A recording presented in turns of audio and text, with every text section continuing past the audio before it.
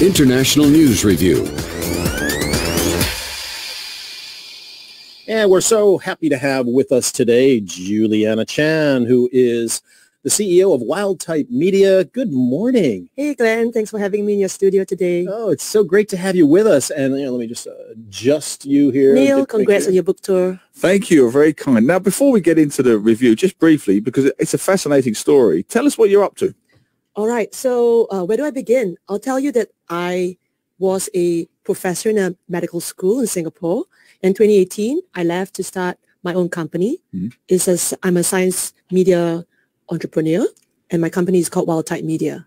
So I've been running it for about four and a half years now, and we've grown to about uh, 30 packs across Asia. Fantastic. Mainly in Singapore.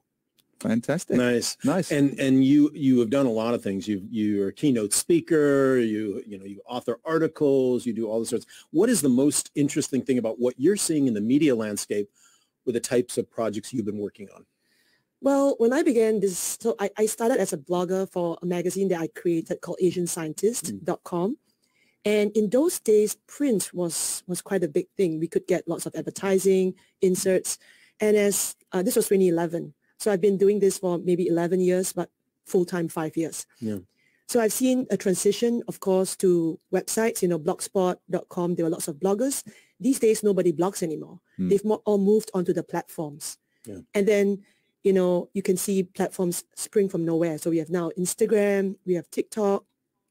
Um, and after that, I think there's an, another shift now to even deplatforming. So people are saying they don't want the platforms to have all their information. They're going to start newsletters and contain all the, hmm. the emails. Hmm. So they're going to be their own platform. So I've, I've seen a, a little bit of a transition. Now, yeah. I know you do a lot of work on LinkedIn. Yes. And many, many of our listeners and viewers use and read LinkedIn. Now, I make a lot of fun of LinkedIn please, please because I think to, a lot of the it's a bit corny sometimes. I, well, corny is an understatement. I mean, some of those, some of the posts and the way they segue into making it back about them, hilarious. You yeah. know, and it could be literally anything. I saw a leaf blowing in the sky, which reminded me of and it reminded me I... of the time when I did a keynote speech. if you need a keynote speaker, come to me. You know, there's no there's no segue they cannot, you know, find or make. So what are your what what would be one of your key tips for so, our listeners so, on LinkedIn? So before I get to the tips, I'm not here to give tips. I'm just saying, you know, we were chatting earlier about a page you should all follow. It's called Best of LinkedIn, mm. which you can find on Instagram or, or LinkedIn or Twitter.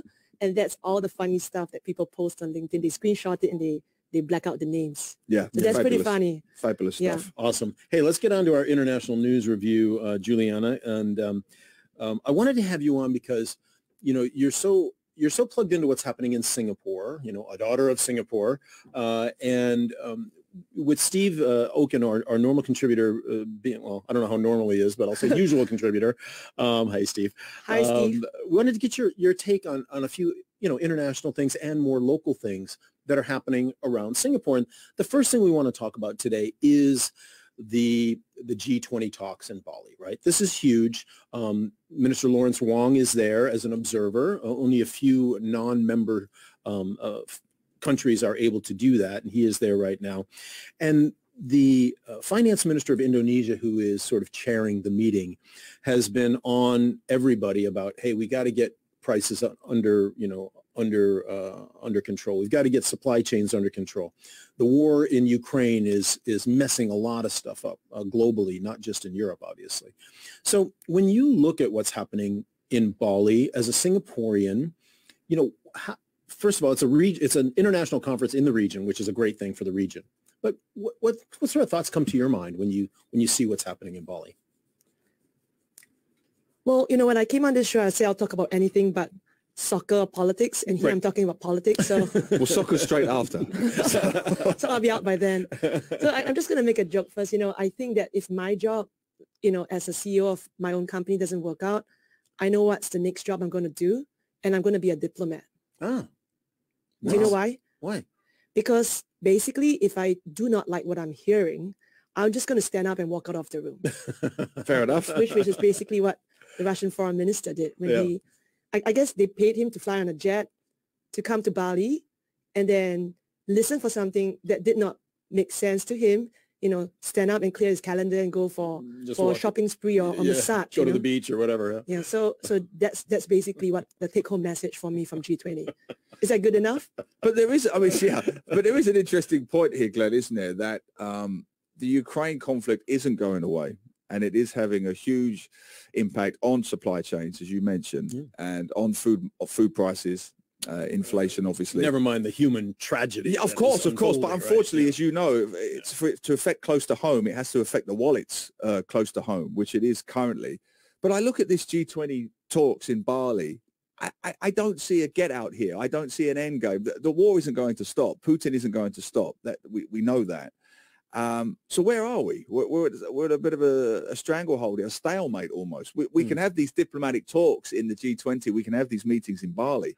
But unless something geopolitically shifts in the Ukraine sometime soon, and it won't, it's just a lot of talk, isn't it? Yeah, yeah. Well, the French, the German, the American, and other diplomats um, all very uh, openly and and vocally criticized Russia's representative at the G20 meeting, which which frankly doesn't happen very often, right? That they really open up on one of their own, if I can put it that way. Um, and so, but you're right. I think there is a certain amount of cynicism when we look at these meetings or when we look at the ASEAN meetings. You know, what are they really doing about uh, the Rohingya crisis or what's happening uh, more broadly in, in Myanmar, for example, um, on the ASEAN side. Uh, so it's hard to see what the end game is, like you say, for many of these conferences. Well, this is an interesting point. I don't know. I just caught wind of this yesterday. I don't know if you've been across this. I wouldn't say spat, but this uh, diplomatic debate that's been playing out in Singapore between our friend of the show, Kishore Mahbubani. Have you heard about this? And uh, Tommy Koh and the British High Commissioner, uh, uh, Miss Owen, who's also a friend of the show, got involved. And this idea that uh, Kishore made the point that European nations need to apply a certain level of pragmatism when dealing with these leaders and maybe accept the fact that um, a compromise should now be reached and settle. Whereas uh, Singapore, specifically Tommy Koh and others, and the British High Commission said, well, wait a minute, wait a minute. We either respect sovereignty and borders or we don't. So I don't know what you've if you've been following this, Yeah, but this thing has been playing out in Singapore. It's a fascinating discussion. Uh, on the one hand, you've got Kishore Mahbubani saying, "You, we need some pragmatism here, and and Ukraine needs to settle." And then you've got Tommy Koh and others saying, "Whoa, that puts a country like Singapore in a very vulnerable position. We either respect borders, sovereignty, independent nation states, or we don't, and that's a real problem." And this is why Singapore has always come out strongly against any nation that's invaded another one, uh, you know, because of these border disputes, especially in Ukraine, right? Uh, the Singapore Foreign Ministry was one of the first countries to condemn it. Absolutely. Yeah. Uh, Vivian Balakrishnan, he made a very strong statements at the start of the, the invasion. So I thought that was uh, unprecedented. Yeah, Mm. because you never know when the next one is going to happen, right? And who it's going to happen to. And if it happens here, you know, Singapore government would certainly want the international community on the side of Singapore, right? Um, and and I don't, I have not talked to Kishore about this. Maybe we'll get him on the show. Yeah, I think and so. have him talk about. He's been on the show many times. We we we really enjoy having Kishore on. Yeah, I mean, why not? It would be great. Yeah, I know Kishore. he's a He's smart guy. I mean, he's he doesn't Yeah. say things without thinking about it. And I'm and I'm guessing what's behind that comment is, you know, his 30 plus years as a diplomat um, is realpolitik, right? Which is you may want Boris, uh, sorry, you may want um, um, Putin, Putin. To you know pull everybody out and capitulate tomorrow, but reality is it's not going to happen. And we've seen already with the sanctions and stuff as hard as they are, and with the weapons going into Ukraine from the West to combat the Russians, it still isn't stopping the Russians. So where does that leave you? You know, fight on forever, or do you make another Mm. Avenue to try to solve it? Yeah, I see I'm the guessing point. that's what Kishore is getting at. Yeah, uh, we don't want to put words into his mouth, but uh, Let's get him on. let's get him on. I think we Yeah. should get him on. next. Absolutely. Very interesting. Yeah. But uh, anyway, so we'll see what happens with this G20. They haven't issued the normal, usually they issue communiques and all that sort of stuff, and they haven't done that yet because they haven't been able, They didn't able to even agree take a. They didn't even take a group photo. they usually take a customary. You know, they always have the stupid shirts on Yes. the country, they're you know, whatever it they're hosting, and yeah, yeah, yeah. Yeah, they Absolutely. They all year. look so silly, in, in my opinion. But yeah, they haven't done that this time either. So uh, I, I'm guessing it's not going to be a hugely successful Mm. outcome to the conference, uh, no matter how much. You got to Photoshop all of them in a row. Yeah. All right. So Juliana wants to be an ambassador. Anybody listening from MFA, uh, Juliana's ready. With to- the caveat that she just work. wants to turn up and walk out. yeah, and be able to walk out whenever Can she you wants. imagine if I went to a client meeting and I didn't like what I heard? Just stood up and walked out, you know, sure gonna fire it, you know, That's it. right away. That's Uh, I it. would love to see that. I would love to see. You got to bring Neil and I along with you. You know, just Yeah. so your support Just crew. practice all We'll, we'll, we'll set you out. up. We'll set you up so you could just walk out. Yeah. All right. Now, our last two stories, I want to talk about the best of Singapore and the worst of Singapore, right? Mm. So let's go with the best first.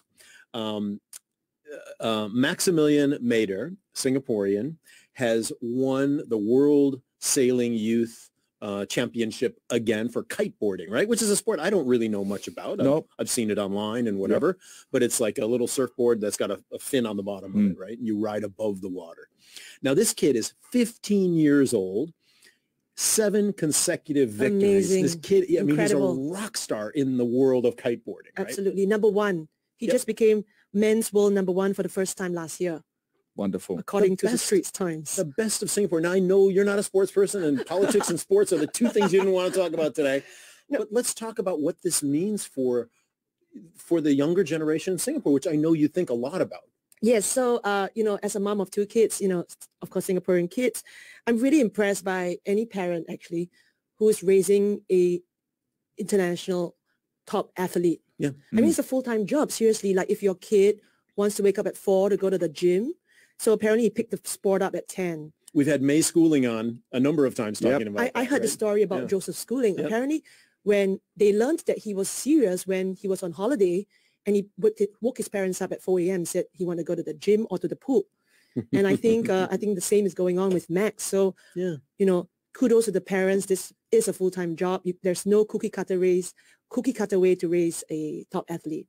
Mm. And it also ties in with the news story we had today about the PSLE uh, exam and the fact that uh, 15% of the questions, where's the story say? It's Yeah, the- fifteen percent of the questions are hard on a are, given are year. challenging. Uh, Look, I'll say this quite openly. Um, you know, no false ego. I've seen some of those questions. I couldn't do them, and I'm happy to say that. And I oh think that's. goodness. I think you need to be honest about it. Neil, my, my daughter's in primary three and there are times where we have to screenshot the question, put it on a WhatsApp group Yeah. and have like five adults try to solve it at once. Yeah. I'm not kidding. It's And hard. you need that honesty because sometimes you don't want to lose face. You don't want to be seen as sort of intellectually inferior. But I think we need more people to be honest enough to say, I'm a reasonably intelligent guy. I've got a good academic background, blah, blah, blah. But I've seen some of these PSLE questions. And as a 47-year-old man, A, I cannot answer them. And B, I'm not sure why a 12-year-old kid needs to be able to answer them to get into their secondary school of choice. And if you're trying to balance that kind of pressure, that kind of stress, and try to do what Maximilian has done so spectacularly well, which is become the world sailing youth champion, something's got to give. For every hmm. Maximilian, and this is a wonderful, wonderful, uplifting story, do not get me wrong, but you think about the other 99% who are just trying to get the PSLE done. I mean, something's got to give here, right? Yeah, well, and and as we all know, it's not enough with the PSLE, and I know we're getting a little off topic. It's not just enough to get the right answer. You got to show how you got the answer, and if you don't show it the right way, of you're course, still you going have to to get use points those off, boxes, you know, these, these Singapore math boxes. Yep. It, you know, I want to talk, Neil, about that, the point you raised about raising athletes in the system. I Mm. think we have to find a way to help these athletes to thrive outside the systems that we've set up to cater to the majority of kids. You know, because they are so special, we need to bubble wrap these kids and put all our resources behind them because we're not China. We don't have a ping pong school with maybe 100 kids that are chosen for the right arm size Or or ten thousand or kids bounce, or whatever. and then you know spend like 10 years putting them to a regimented program to Yeah. select one Yeah. athlete to give China the gold in the Olympics. Yeah. We don't have that number of kids. We don't have enough kids to do that. So maybe we need to find a way to help these special kids uh, be successful and maybe find a way for them to excel both in their sports. Oh, we do have the Singapore Sports education. School. Is that not Yes, enough? yes. Or- Well, I mean that's that's pretty much in the high school state. They, they still hmm. need to be supported through all the way to Yeah. to wherever they go next. Well, Yeah. and, it, and it comes down to the national conversation on what is important to the country. is it important to this country or any country to I have, think it is. to have top class, world class I think it absolutely is. Right? I think it absolutely is such a, such an inspiration to younger kids. Look at Joseph Schooling. Now there's a whole generation of kids who want to be swimmers. Yeah. Yeah. Yep. Yeah, well, the grandstand at Sixth Avenue at Bukit Timah, which is one of the biggest sporting locations in Singapore, is earmarked for development next year. so that probably tells you where our priorities are. Yeah. Good luck. Go find a go find a soccer pitch somewhere. Go find else, a kids. soccer pitch, a rugby pitch, a cricket pitch, Yeah. a gymnastics court, whatever. Yeah, Yeah, it's yeah. tough. unfortunately. So anyway, Maximilian, congratulations. Yeah, I would love brilliant. to have him on the show too. Congratulations. If anybody knows Maximilian or his parents, get in touch with us and, and connect us because we would love to have him on the show to, to talk Wow, about yes. his wonderful win as well. And, and, and on that point, I'm just reading here, Glenn. I mean, the guy pulled off seven consecutive know. victories. I mean, this is no mean feat. You know, seven consecutive victories to regain the lead. And he's now a world champion. I mean, we have a world champion. This is fantastic. Under 19, superb. and he's, superb. he's doing it in the Netherlands. He's not at Yeah. home with the hometown crowd cheering Yeah. him. He's he's off on his own, So- so just competing at the highest level. So Glenn, I read that he's homeschooled. I think that's also another pressure on the Yeah. parents. They need to, you know, m- maybe one of the parents has to look after him full time and take him Mm. to training and teach him at home. So Yeah. that's in, that's really hard on the parents too. Sacrifice. Another friend of mine, uh, Singaporean, doing exactly the same, homeschooling, because it's the only way they said they could balance his academic work with his sporting aspirations. Interesting. Uh, yeah, the, the, the boy does that. Um, what is that thing they do at Sentosa, you know, by the beach station where they float? Oh right, right, yeah. The, the, Oh, uh, um, the, the flying dive, the diving thing, the in, in, indoor diving, um, indoor Sky, sky, sky, indoor Sky- skydiving yeah, thing. Skydiving. yeah, with a big fan underneath. it. That's the one. Right. He similarly That's a take, competitive sport now. it is. He Yeah. takes part in World Junior Championships, just like Maximilian. Same issue. Awesome. Has to homeschool because to balance the two, I remember difficult. reading about another young girl. I think her name is Kyra. She's also one of uh, one of the you know biggest names in that sport as well. Yeah. All right. Mm. Yeah. Oh, interesting.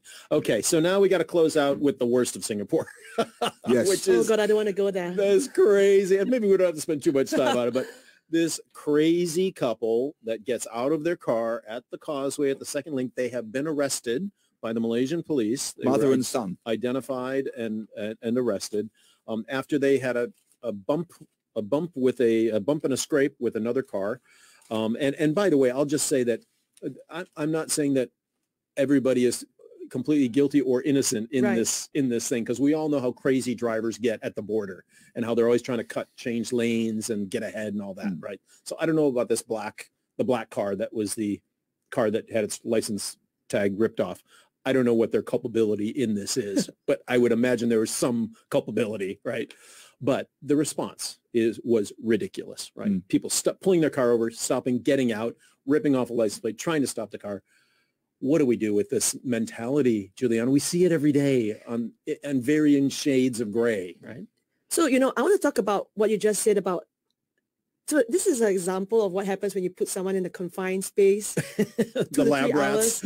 you know, I'm not only talking about cars. I'm talking about aeroplanes. You know, circuit breaker. Two two months. If you does anyone remember, or did you just try to forget that entirely? Yeah. It, it makes people go nuts. Yeah, yeah. I mean, and then of course you're inching forward like a an inch a minute, and then some suddenly someone tries to cut you off. Apparently, you know, you go crazy when that happens. You do. You really do. Do you sometimes, I mean, I'm not the first person to say this, but I, I'd be interested to get your thoughts on it, that there is, because cars are so prohibitively expensive Yes, here, I was going to talk about that. right? There is some, not better people than I have said this, academics have researched this, that there's an air of entitlement that comes with the whole my grandfather's road. I've bought this car. It's cost me a hundred thousand plus For the paper, for the paper. Just to Therefore. I have Yeah. certain rights and privileges and entitlements, and I'm going to use them in certain ways on the road. Do you think there's anything to play there? There's a certain You know, you know, uh, Neil, I want to talk about a special kind of Singapore road rage, okay, and that's called COE road rage right, because we are angry at the paper. See, right. so so Ah, so ah. then then then when someone actually apparently cuts you or scratches your car, you know, it's literally war because Mm. maybe that scratch could- or that dent could cost you a couple of thousand dollars Yeah. right away to fix it. Yeah. So you know, that's our special kind of road rage. Yeah. What do we do? You know, Neil and I were just talking. We were both on holiday and Mhm. had very um, different experiences than the Singapore driving experience. Right? People letting us in. Right. You know, I was in Hawaii. He was in the UK. um, you know, people slowing down, people shifting to the side to make room for you.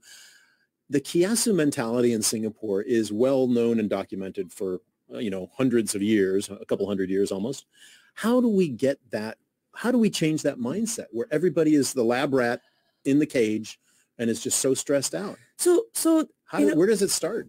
So I, I think I think uh, I cannot speak for an entire nation, or Of course. but what I can say about this situation and in my daily life is that you you don't- I don't know why they had to cross over the Hari Raya weekend, which is the peak of travel. Hmm. So for example, on a daily basis, imagine if you could wake up like 30 minutes earlier, get into your car, and not get into a really stressful jam with everyone. You would find that you know there is less stress on the road, there's less rage Yeah. on the road, Yeah. and it will be better for your mental health. Yeah. So I think I'm just speaking about traffic here. If we could just change our behavior a little bit, of Mm. course, working from home solves it entirely, then you have less of that congestion on the road, which is what the COE was intended to prevent anyway, yeah. you know? It is interesting. I mean, your point, of, you know, traveling across the causeway during the Hari Raya period, during public holidays, it's not a fun experience anyway. So Do you have to do that at that particular time? yeah, if you look, if it's a family situation, we understand. If you have to go across, you're seeing family and friends or whatever, absolutely fine.